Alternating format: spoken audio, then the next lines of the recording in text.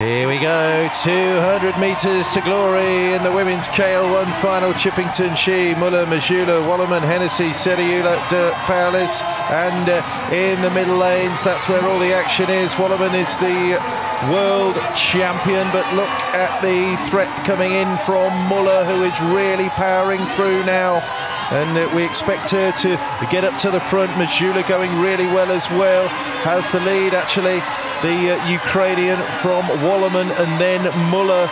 These races are done and dusted in no time. Blink and you miss it. Look at the pause now from Wollerman coming through from Chile. She's going to be ahead of Mazhula coming home. Here is Chile, the world champion, is set to be the Paralympic Games champion. She looks in supreme rhythm there. It's Wollerman who comes in, Mazhula, and then Muller.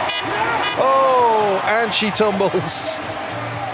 Well, that's her calling card, isn't it? Uh, Wollerman often takes a dip at the end, but not bothered by that. She's got uh, lifeguards there to help her out, and she's also got a Paralympic gold medal.